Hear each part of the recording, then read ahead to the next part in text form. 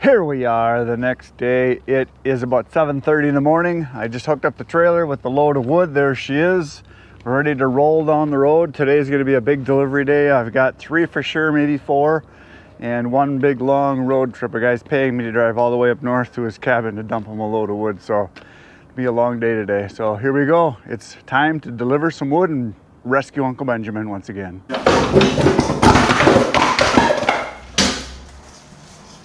You got kids to help you stack? Oh yeah, I got three three high school boys. so Oh, I- uh, perfect. Little nine year old daughter, she doesn't help so much, but Well, you might probably be the best help. yeah.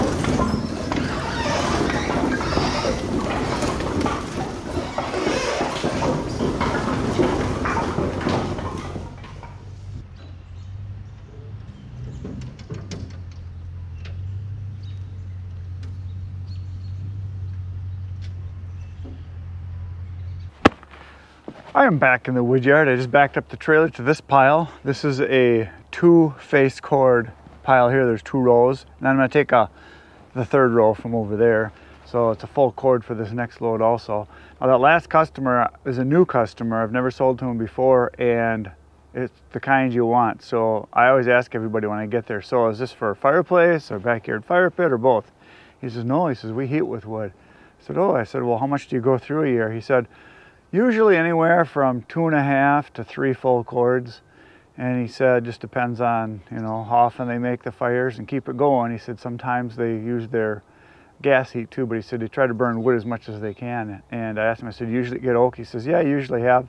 He said, my guy that I used to buy from quit doing it. So he said, no, I guess you're going to be the guy. So that's going to be a good customer, hopefully. Um, should be. So he seemed to be happy with the wood. He used to cut wood himself. He lived up in the UP. And he said his whole life when he was a kid, they heated with wood. So it was always his job to do firewood. And he said, no, he just doesn't have time for it, but he loves to do it. So he seemed to be pretty happy to get the wood. So this next load is going to be a big long road trip. We're going to load it up right now. Going to throw this in and then we're going to drive um, about two hours north of here. A guy's paying me quite a bit to drive it to his cabin. So that's what's going to happen. So we're going to get this loaded up right now. So it's wood chucking time.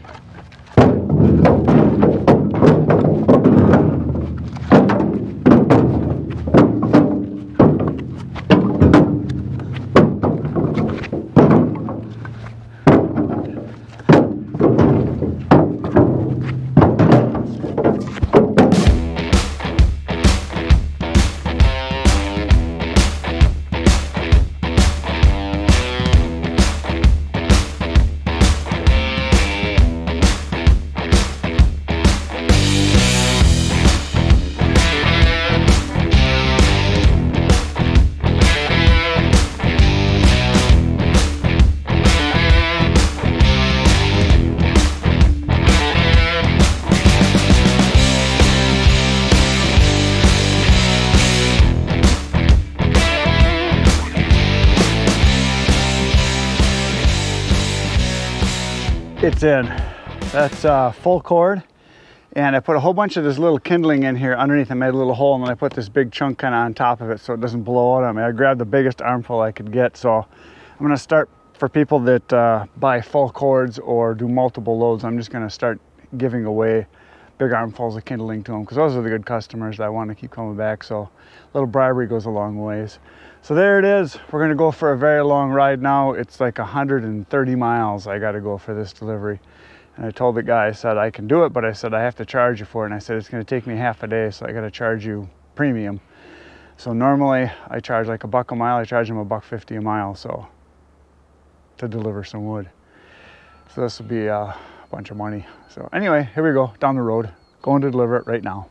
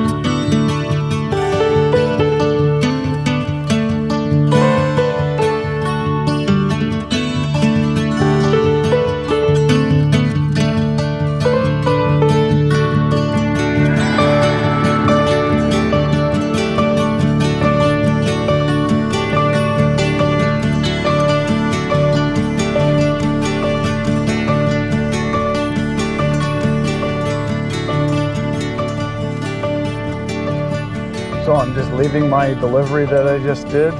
It was uh, two hours and 15 minutes to get here, but uh, I did get paid for the drive, and it's a beautiful day. And uh, I saw all kinds of cool things on the way. I've never been up this way in northern Wisconsin. This is kind of on the eastern side of Wisconsin.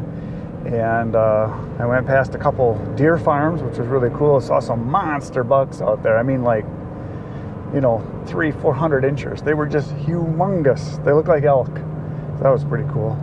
So we're on our way back, and uh, we'll see you in a little bit. We'll be in the wood yard. We'll load up another load when I get back. I'm on my way back from my delivery, and I had to stop and get gas at this place, and they have firewood here. And this place isn't too far from here. This is, uh, they got it on pallets, which obviously is really nice. They have it shrink wrapped. Now it says here that it's premium kiln dried. It's 0.6 0 cubic feet, so it's not even 0.75 like a lot of them. This is right down the road, Middle Inlet, Wisconsin. Um, it's heat treated to 140 degrees for 60 minutes. So I'm just gonna have to say that I don't think that that could possibly be dry, but what do I know? I don't have a kiln. But 60 minutes? Like really? It's all popple it looks like. You can see there's a bunch of moisture on the inside as you can see which I'm sure it continues to dry when it's sitting here in the sun. But yeah there's moisture all in there too. You can see all the water on there on the it's on the inside actually. So yeah it's uh firewood. So I don't know. I know is I've bought some of the gas station stuff in the past and it's usually wet. So 60 seconds I mean 60 minutes at 140 degrees I don't know about that. Maybe I don't know. If you know, tell me. Does that actually work? 60 minutes, 140 degrees? You guys have a kiln? Anybody knows? I want to know. Let me know. So I'm driving on the road and I didn't know this place was here. Never been past here before. It's uh, Sturzing. I think that's how you say it. Firewood processing. They cut, split, dry it. They got quite an operation here. Um, they got all their logs out over here, uh, ready to be cut. They got all their bark and refuse back there. Uh, they got a Cord King processor over here. They have one kiln right here, and then there's two more kilns over behind the shed over there, behind my truck for drying. And they got all the uh, IBC totes full over here. And uh, we're gonna come over to the other side over here. There's a whole bunch of other IBC totes waiting to be filled. They got quite an operation here. Um, they've got crates full over there and uh, over to the side here I noticed they've got in there where they do their processing they've got uh, uh, loaders here. And uh, they look like they're articulating loaders the Wacker Neuson I guess. They've got a couple of them. There's one over there and you can see they got all their processed wood over here in the uh, their shed. So quite an operation. I went and knocked on the office door. There's no one here today. I don't know why. It's a Saturday. And uh, so yeah here they've got their they got a semi truck a, a, trailer they back right in so they can fill it with all the sawdust from the machine. So you can see that's starting to get pretty full in there. It looks like oh no there's a lot of room yet. But they blow it right in here. It's an old cord king model cs 1830 model 40 whatever that means. And they got a tumbler over there. So you can see they've got uh, quite the operation here wow so yeah, they, they load right into the IBC totes and then they lift them and take them away. And uh, yeah, so there. Got a little tour of uh, somebody else's woodyard. There's no one here. I would interview them. So what I'm going to do, if you're seeing this, I already called them. I'm going to call them and ask permission if I could uh, post this on the channel because uh, I'm not just going to walk around and film it and then put it on. So hopefully you're getting to see this. so yeah, they got quite the operation. Look at they got two big kilns right over there. I'm assuming they're just on vacation today or something. And I can hear buzzing, so they must have uh, power. Yeah, they got get their gas kilns. I can see the gas lines over here. And I can hear them buzzing, so they must be running right now. So they must load them and them right in the hoppers here. So yeah, it'd be nice to interview them, but so you can see We've got a heck of an operation. Looks like almost all the wood that I could see here is popple. I didn't see anything else besides popple. Or maybe there's some wood over there that's not. Let's just go look over here and see what they got. They got a whole bunch more racks over here. And you can see that's like smaller stuff. And then this is bigger chunks over here. Oh no, there's maple in here, looks like. I don't know, it looks like popple. Oh, there's birch. It's just mixed up right here. There's oak. So they do separate it. This is oak right here. Yeah, there's just different different kinds here. But that's all popple there. This here looks like birch right here. There's a whole bunch of cookies you can see. So let's go over to the logs and see what they've got over on the other side over here. Looks like uh, they've got quite an operation here. So we're gonna walk over here and take a peek at what they've got. Oh, they've got more crates here. They must put bark and stuff into that, I'm guessing, because it's more like a cage. It's closed tighter. Yeah, you can see chips and stuff in there, so that must be where they put all their all the small stuff for kindling. And you can see all the bark they got here. Oh, that's a lot of bark. Yeah, that must be uh, basswood. I think it's basswood. That's what that looks like right there, actually. Basswood. And this wood over here looks like oak. Yep, this wood over here looks like, uh, I think that's popple. Yeah, looks like popple there. I got a bunch of big ones here, and there's some birch. Here's a bunch of oak right here. So they do have it separated. So they must sell for heating. They must sell the oak, and then for the campfire stuff, here's more popple here, lots of it, or aspen if you want to call it that. But yeah, they got a whole row here. So that's all aspen. And over here looks like more oak. Yeah, more oak.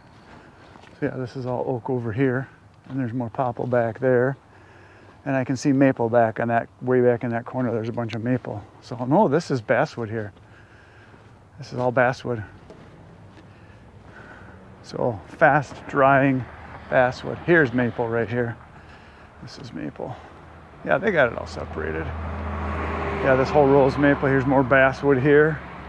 And over here looks like ash. That's what I'm thinking. Yep. That looks like ash there. So this is maple here. There's basswood back there. So this is maple. This is maple. Yeah, this is all soft maple here. I can see by looking at it here. You can see the smooth bark in there. Unless it's just mixed up that there's basswood in there too, but looks like maple. So yeah, they've got uh, lots of stuff here. So there you go. Hopefully I'll get to show you guys this because there's no one here. so talk to you later. I am back in the wood yard after the long road trip delivery and now I'm going to throw in these two rows right here, the two face cords, two thirds of a cord into the trailer and we're gonna go deliver that. So that's what's gonna come at you right now, firewood in the trailer.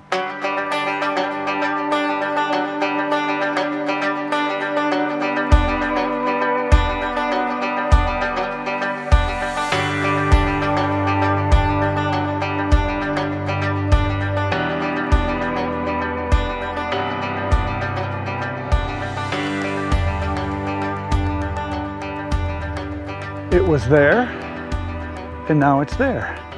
It is in. That is two face cords or two thirds of a cord load that is going to the next delivery, and I'm gonna go do that right now. And then I'm supposed to have another one after that, and I've contacted the guy a couple times now, and he hasn't responded back. He said if he doesn't respond back, he's probably not home yet.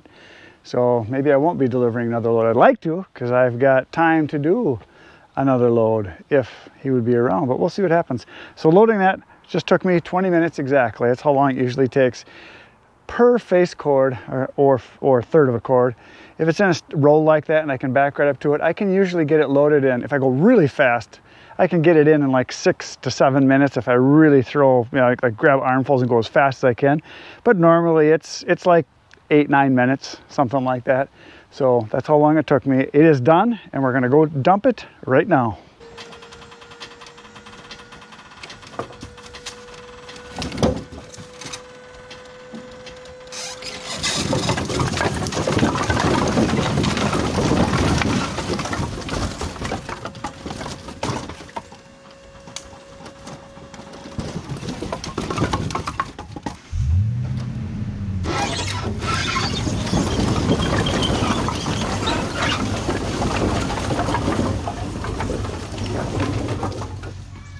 I am back in the woodyard from the last dump that you just saw and that is the last delivery for today. I have two more orders um, but both of the people aren't home yet. Um, one of them wants me to bring it next weekend. The other guy said he'd let me know. So I got two pending orders for now and I know I've got another one in a couple days.